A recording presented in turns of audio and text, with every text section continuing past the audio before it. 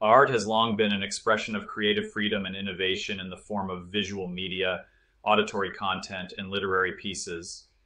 With the rise of artificial intelligence, AI, across many industries, it has become increasingly clear that AI will shape the future of creative arts, such as music, painting, and writing.